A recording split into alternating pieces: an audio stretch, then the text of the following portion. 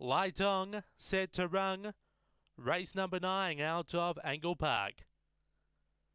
Away, Wang Friend began on terms. Oh, taking a tumble there early was Bella Blitz. Wang Friend goes to the front and opens up by four over Lord Zanti. Then we go back to Hope's Girl. Yeah, nah, Gary, Webleg Breeze, and Bella Blitz is up and chasing. Wang Friend on top by five over Lord Zanti, and Wang Friend will be too good. Beaks home Lord Zanti. Yeah, nah, Gary, Hope's Girl. Then we go back to Webleg Breeze, and Bella Blitz chased him into the pang that time around 1980. It's 1986. Number 10, One Friend gets up for Ray Barkler.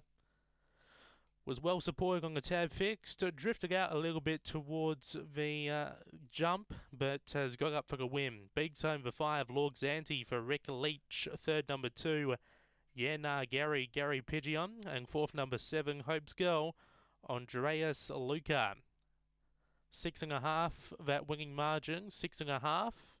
1986, 455, 769, 1217 for run home, six and a half by three and a quarter of those margins, 10, 5, 2, 7, 1986 that time after race number nine here at Angle Park.